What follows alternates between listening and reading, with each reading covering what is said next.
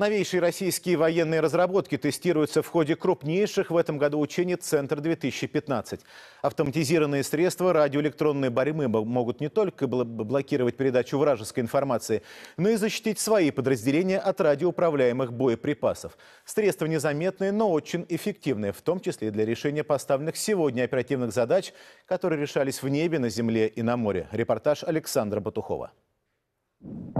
Мотострелковая бригада из Самары отрабатывает на Астраханском полигоне Ашулук ситуацию, когда это подразделение, находясь на марше, неожиданно попало в засаду.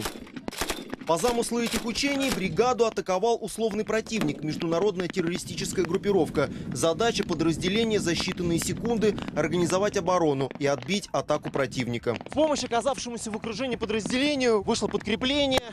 Вот сейчас они окружают противника и по замыслу этих учений, через некоторое время противник будет уничтожен. Этот учебный бой длился недолго. Через 30 минут Самарская бригада вновь продолжила свое движение к пункту назначения. Очень позитивно, что полное взаимопонимание между э, командованием второй армии, командованием воздушно-десантных войск именно при выполнении этой специальной операции. Ну и очень позитивно то, что подразделения, обозначающие действия противника, создают обстановку максимально приближенную в условиях реальных выполнения боевой задачи. Помимо полигона Ашулук, в этих армейских учениях «Центр-2015» задействованы еще 19 полигонов Центрального и Южного военных округов.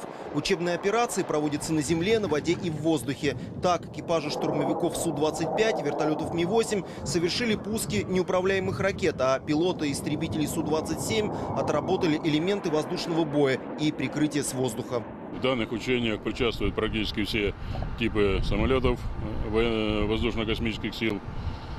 Э, порядка 170 самолетов и вертолетов. Успешные стрельбы в рамках учений провела и Каспийская флотилия. Каждый из четырех катеров произвел два десятка артиллерийских выстрелов. Все морские мишени были поражены. Ракетные корабли и малоракетные корабли Каспийской флотилии будут принимать участие во всех эпизодах проведения данного учения, включая выполнение боевых упражнений. Эти учения «Центр-2015» самые масштабные в этом году. По сути, это итоговый экзамен для военных, в котором задействованы почти 100 тысяч военнослужащих и 7 тысяч единиц техники российской армии. Помимо этого, в нескольких эпизодах тренировок примут участие представители вооруженных сил Казахстана, а военные из делегации Никарагуа будут работать в качестве наблюдателей. Эти учения продлятся неделю и завершатся 20 сентября. Александр Бутухов, Дмитрий Волков, Никита Чупин и Виктор Аверин. Первый канал из Астраханской области.